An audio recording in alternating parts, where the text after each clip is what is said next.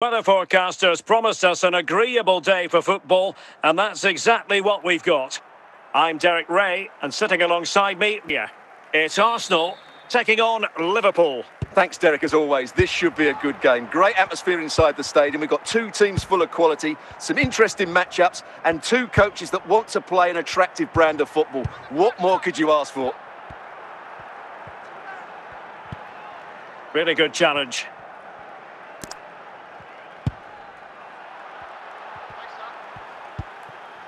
Tsimikas. Good ball to switch the play. And he did what he had to do defensively.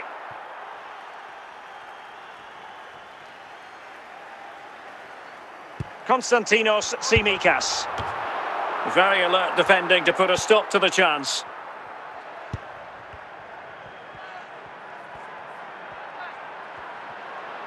Arsenal doing well to regain possession.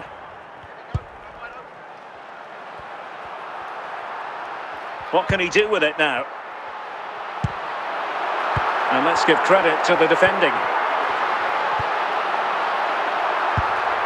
Kevin De Bruyne. Sergio Roberto. There to win it back. Sergio Roberto.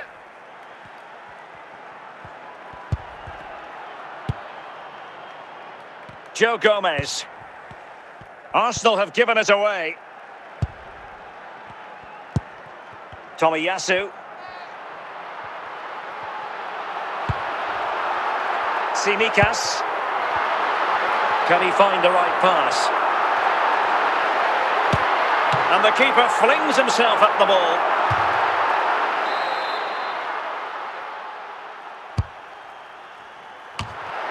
Well, it looked so promising, but a goal kept the outcome.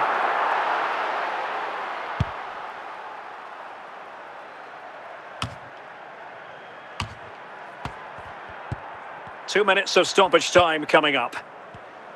Getting in there to intercept. And so it is, the first half story has been written.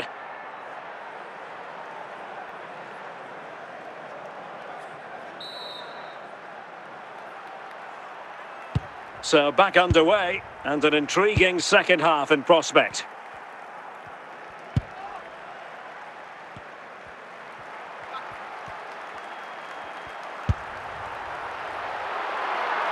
Really showing off his wide range of passing skills. What a lovely strike!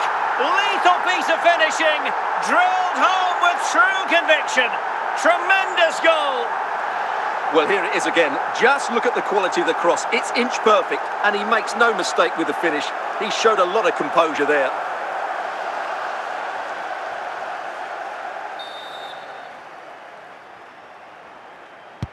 And Liverpool get the ball moving again, looking to find a reply to that setback. Salah.